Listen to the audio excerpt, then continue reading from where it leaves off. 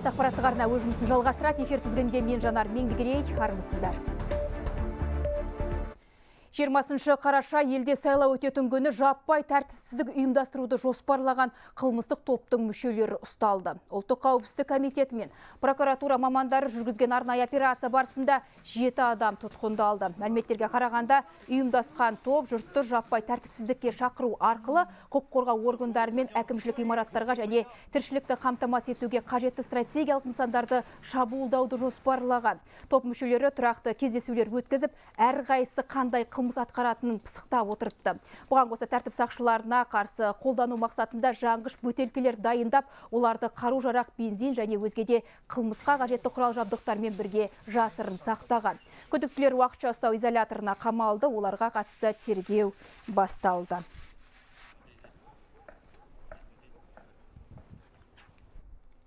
Қазақстан мен Евродақ арасындағы ынтымақтастық арта түспек. Бүгін Ақордада мемлекет басшысы Европалық одақтың сыртқы істер және қауіпсіздік саясаты жөніндегі жоғарғы өкілі Европалық комиссияның вице-президенті Жозеп Баррельмен кездесті. Қасым Жомарт Тоқаев мәртебелі мейманның Астанаға сапары Қазақстан мен Евродақ арасындағы қарым қатынастарды нығайту тұрғысынан өте маңызды екенін айтты. Тараптардың кеңейтілген серіктестік пен ынтымақтастық туралы келісімі барлық саладағы қарым қатынасты жақсартудың жаңа кезеңіне жол ашқанын жеткізді. Кездесу барысында экономикалық және инвестициялық байланыстарды одан әрі нығайту жолдары талқыланды. Біз Қазақстан мен Еуроодақ арасындағы жоғары деңгейдегі байланыстарды қолдаймыз. Осыған байланысты Еуропалық кеңестің президенті Шарль Мишельдің өте табысты болған сапарын және Еуропалық комиссияның президенті Урсула фон дер Ляйенмен жүргізген келіссөзімді атап өткім келеді. Біз ынтымақтастығымыздың көптеген мәселесі бойынша өзара түсіністікке қол жеткіздік деп ойлаймын. Сондай-ақ Египетте Қазақстан премьер-министрі мен Урсула фон дер қол қойған меморандумды құптаймын. Бұл өзара ынтымақтастық тұрғысынан өте нақты қадам. Еврода Қазақстан билігі жүргізіп жатқан реформаларды қолдайды. Елдің біркен ұлттар ұйымының жарғысын берік ұстанғаны үшін құрметпен қарайды. Бұл туралы Жозеп Баррель кездесуден кейін өткен брифинг кезінде мәлімдеді. Оның айтуынша Қазақстан Евродақтың Ортақ Азиядағы ең ірі сауда серіктестігі. Биыл 9 айдың ішінде өзара тауар айналымы 29,5 миллиард долларға жетті. Алдағы уақытта Қазақстан кәрі құрлық пен ауыл шаруашылығы цифрландыру, көлік логистика салаларында әріптестікті арттыруға ниетті. Осы тұста Жозеп Европалық одақ санкцияларының Қазақстан экономикасына ешқандай теріс әсері болмайтынын айтты. Ресейге салынған санкциялар тікелей соғысты қаржыландыратын салаларды қыспақ қалуға бағытталған. Ауыл шаруашылығы тыңайтқыш өндіруге әсер етпейді. Бұл мәселе бойынша біз жан жақты талқылау жүргіздік. Санкциялар үшінші елдердің экономикасына кесірін тигізбейді. Егер қандай да қиындық болса, біз бірлесіп шешу жолдарын қарастыруға дайынбыз. Қазақстан халықаралық қайта құру және даму банкінен 345,7 миллион евро қарыз алады. Бүгін Сенат депутаттары тиісті келісімді ратификациялау туралы заң жобасын қабылдады. Вице-премьер қаржы министрі Еролан Жамобаевтың айтуынша бұл ақша республикалық бюджет тапшылығын қаржыландыруға жұмсалады. Сондай-ақ әлеуметтік шығыстарды жабуға мүмкіндік береді. Халықаралық қайта құру және даму банкінің қарызы 11 жарым жылға 2 жарым жылдық жеңілдік шартымен рәсімделеді. Ақша қарыз туралы келісім күшіне енгеннен кейін бірыңғай транш түрінде бөлінеді. Сенаторлар қаржы экономиканың нақты секторын қолдап, тұрақты дамуды қамтамасыз етуге тиіс деді. so Семей қаласындағы бұқтырма су қоймасы мен ертіс өзені арқылы өтетін көпірлердің құрылысын қаржыландыру баяу жүріп жатыр. Нысандарды белгілеген мерзімде тапсыруға қауіп төніп тұр. Индустрия және инфрақұрылымдық даму министрлігі көпірлердің құрылысына келесі жылға 20 миллиард теңге сұраған. Алайда республикалық бюджетте 2 миллиард теңге ғана ескерілген. Сенатор Бақытжан Баяхметовтың айтуынша жоба 2025 жылға дейін аяқталуы тиіс. Сол себепті республикалық бюджетті нақтылау шеңберінде келер жылы 15 миллиард теңге, ал 2024 жылы 17 миллиард теңге көлемінде қаржыландыру мәселесін қарастыру қажет. 2023-25 жылдарға арналған республикалық бюджет туралы Қазақстан Республикасының заңының жобасында объектіні қаржыландыру аясында 2023 жыл 500 миллион теңге және 2024 жылы 1,5 миллиард теңге көлемінде қаражат бөліну көзделіп отыр. Бұл барлығы 9-3 пайыз құрайды. Бұл жағдай мемлекет басшысының тапсырмасын мерзімде орындалмауына және сәйкесінше жобаның қымбаттауына алып келеді. Спорт федерациялары өз бетінше ашылады және республикалық бірлестіктерден оқшау өмір сүреді. Ал олардың бапкерлері жас балаларды жаттығуға тартып, жеткіншектердің денсаулығына зиян тигізуі мүмкін. Сенатор э, Ғали Асқар Сарыбаев еліміздің спорт саласында қалыптасқан жағдайды сынға алды. Бұл туралы ол еліміздің премьер-министріне жолдаған депутаттық сауалында жария етті. Сенатор қазіргі уақытта спорттағы балалардың жүктемесіне алаңдаулы. Мұндай жағдай әсіресе жекпе-жек өнерінде кең таралған. Ол жас ұрпақтың денсаулығына теріс әсер етеді дейді. Осы орайда депутат жаттықтырушылар мен төрешілерді тіркеп қызметін лицензиялауды ұсынды. Ал балаларға тәрбие жаттығу әдістемелерін дайындау керектігін алға тартты.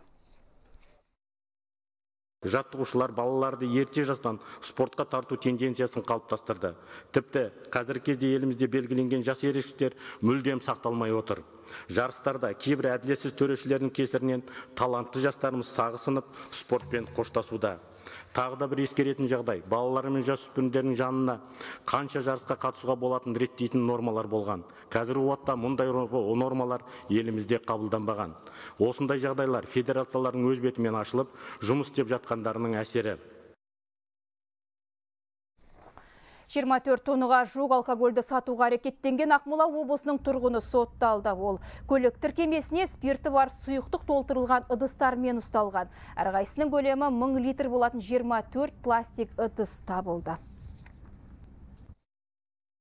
Ақмола облысы бойынша мемлекеттік кірістер департаментінің қорытындысына сәйкес тәркіленген құрамында спирті бар сұйықтықтың жалпы құны 27,5 миллион теңгеден асады. Сот үкімімен Баджановқа қылмыстық жолмен табылған мүлкі тәркіленіп, бір жылға бас бостандығын шектеу жазасы тағайындалды. Жаһан жаңалықтарымен жалғастырайық. Германияда 300-ге жуық неміс компаниясы банкротқа ұшырауы мүмкін. Бұл туралы Фокус ақпараттық баспасөзі хабарлайды. Инфляция салдарынан елде әр 10 кәсіпорын қаржылық қиындықтарға тап болған. Ағымдағы жылдың наурыз айымен салыстырғанда осы қарашада банкрот алдыңға алдында тұрған компаниялар саны 16 пайызға өскен. Бұған инфляциядан бөлек электр энергиясы құнының шарықтауы себеп. Сонымен қатар халықтың әлеуметтік жағдайының күрт нашарлауы адамдарды үнемдеуге итермелейді дейді сарапшылар. Ал бұл елдегі бизнеске ауыр соққы береді.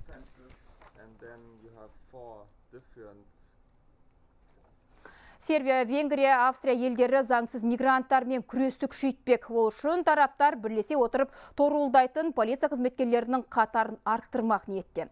Сақшыларға арнайы техникалы қолдау көрсетіледі, ал босқындарды депортациялауға кететін шығынды үш ел бөліп алуға әзір. Мәселен, Вена 100 полиция қызметкерін жұмылдырса, ресми Белград визалық саясатты Европалық одақтың нормасына сәйкестендірмек. Айта кетейік, Балқан елдер мигранттар үшін кәрі құрлыққа өтудің ең негізгі бағыты. Frontex агенттігінің мәліметіне сай, тамыз айында шекараны заңсыз өтпек болғандардың қатары 141%-ке артып 16 мың адамды құрап отыр.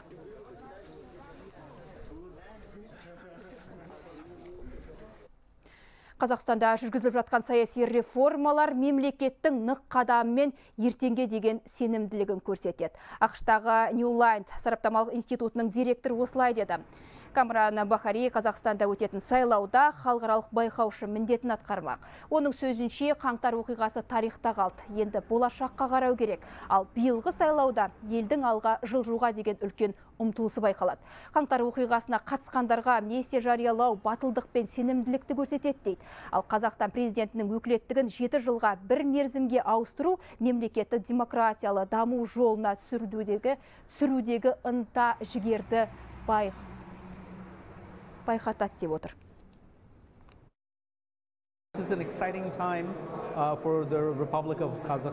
Жалпы бұл Қазақстан үшін өте бір маңызды кезең. Себебі Ресей Украина қақтығыс сияқты әлемде болып жатқан түрлі оқиғалармен тұспа тұс келген. Күрделі кезеңде алға жылжып келе жатқан саяхат сияқты көрінеді маған. Бұл қадамдар дәл қазір мемлекетке қажет. Үкіметтің реформаларды еш кедергісіз жүзеге асыруына керек Бүгін орталық сайлау комиссиясының төрағасы Нұрлан Әбдіров халықаралық бақылаушылармен кездесті. Басқосуға Түркпа және Ислам ынтымақтастығы ұйымының өкілдері қатысты. Тараптар алдағы жексенбі күні өтетін президенттікке сайлау жайында сөз қозғады. Байқаушылар өз міндеттерін адал атқарып, заң бұзушылықтарға жол бермейтін жеткізді. Сондай-ақ олар әр кандидаттың сенімді өкілдерімен кездесуді жоспарлап отыр. Сайлау басталғанда дауыс берушілермен де сұхбаттасу көзделген seçim komitesi başkanıyla az önce gerçekleştirdik. Біз орталық сайлау комиссиясының төрағасымен кездесіп, президенттік сайлау қалай өтетін, оған қанша адам келіп дауыс беру керектігін білдік. Делегациямыз екіге бөлініп, Астана мен Алматы қалаларында жұмыс істейді. Сайлау күні дауыс беру және оларды санау процесін мұқият қадағалаймыз. Келесі күні бақ өкілдеріне баспасөз конференциясын ұйымдастырып, атқарған жұмыс жайында толық мәлімет береміз. Election Commission of the Republic of uh, Kazakhstan. Ислам ынтымақтастық ұйымының делегациясы Қазақстанға байқаушы ретінде үшінші рет келіп отыр. Бұған дейінгі науқандарда өрескел заң бұзушылықтарды көрген жоқпыз. Биыл да президенттік сайлау демократия құндылықтарына сай өтеді деген сенімдеміз. Дауыс санау процесін өз көзімізден көріп бақылап отырамыз. Қазақстанда елдер теңдігі мен гендерлік саясатты қалыптастыру сәтті жүзеге асып жатыр. Ресми көрсеткіштерде де серпіліс бар екені анық байқалады. Елордада өтіп жатқан халықаралық ғылыми конференцияға қатысқан шетелдік сарапшылар осылай деді. Балалар қауіпсіздігі, гендерлік теңдік, тұрмыстық зомбылық, зомбылыққа қарсы іс-қимыл мәселелері талқыланған шараға отандық және шетелдік белгілі ғалымдар жиналды. Олар елдегі гендерлік саясаттың әлеуетін жоғары бағалап, президентке үміткерлердің арасында екі әйел адам болғаны жақсы көрсеткіш екен айтты. Бұл адам құқығын сақтауға демографияны дамытуға сеп бермек. Конференция екі күн бойы өтеді. Жиын қорытындысы бойынша ғылыми негізделген сараптамалық талдау әзірленеді. Ол үкімет пен жергілікті басқару органдарының құрылымдарына жеткізілетін болады. Халқымыз ұлттық тәрбие мен салт дәстүр нормалары арқылы отбасы құндылықтарын ұрпақтан ұрпаққа жеткізіп отырғанбыз десе де бүгінгі жаһандану үрдісіне сай жан жақтан үйрену қазіргі заманның талабы. Әсіресе қазақстанның даму дамудың жаңа кезеңінде аяқ басатын шағында ғылыми тәсілдерді зерделеп сарапшылардың ой пікірлерін құлақ асу маңызды. Алматы облысында Алатау жастары бағдарламасы бойынша баспанаға өтініш берушілер саны артып келеді. Қазірдің өзінде мың жарымнан астам арыз тіркелген. Алайда олардың тең жартысы қарастырылмай. Өйткені бағдарлама шарты бойынша өтініш беруші Алматы облысында кемінде бір жыл тұрып жұмыс істеу керек.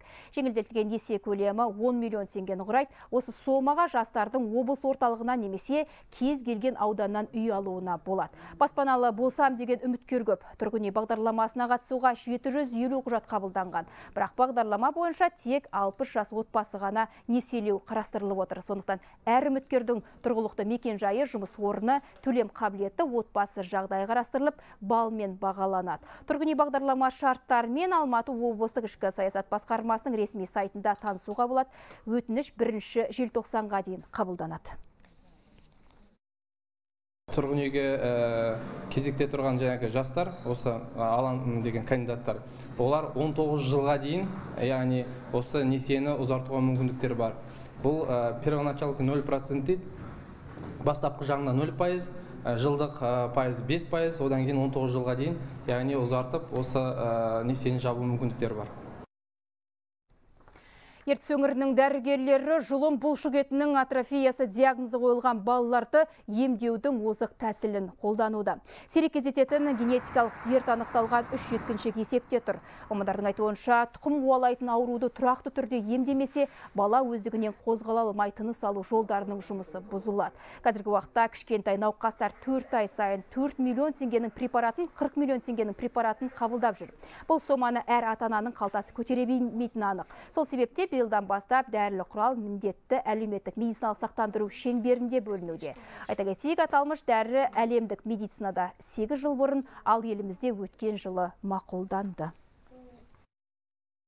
Динамика отличная что было и что сейчас. Навыки у нас препаратты қабылдағалы баламның денсаулығында оң өзгерістер байқалды. Ратмир өздігінен жүре бастады. менімен бірге бесінші қабатқа көтеріліп түсе алады. Бұған дейін көтеріп жүретінмін. биыл бірінші сыныпқа бардық. үйде білім алады. Оқуда жақсы. Эти препараты достаточно эффективные. Они препараттың тиімділігі жоғары. сұйықтық интротрекалды әдіспен яғни баланың жұлын ми арнасына енгізіледі. Осылайша дәрі жұлын миына тікелей жетеді. жұлын бұлшықет атрофиясы бұл генетикалық ауру дертке қарсы ем дом шаралары тұрақты жүргізілмесе ағзаның қозғалыс нейрондары зақымданады. Сондықтан бала үнемі ем қабылдауы шарт. Әзірге айтарымыз осы қазір күн тәртібі бағдарламасы болады. Оның жүргізушісі дархан абдуахит. Жіберіп алмаңыздар.